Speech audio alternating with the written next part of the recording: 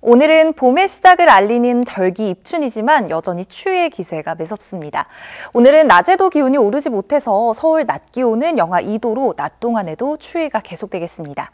또 전라 서해안으로는 낮 동안 눈이 날리는 곳이 있겠는데요. 오늘 밤부터 내일까지 전라권 많은 곳으로는 7cm 이상이, 또 제주도 산지로는 최고 10cm가, 울릉도 독도 많은 곳으로는 15cm 이상 많은 눈이 예상됩니다. 대비 철저히 해주셔야겠고요.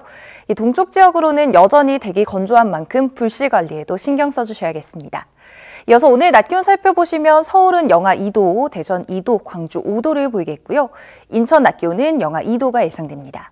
경기 북부 지역 고양은 영하 1도, 경기 동부 지역 가평 영하 2도를 보이겠고요. 경기 남부 지역 낮 기온은 영하 1도를 밑돌겠습니다. 내일 서울 아침 기온은 영하 11도까지 떨어지면서 더욱 춥겠습니다. 날씨였습니다.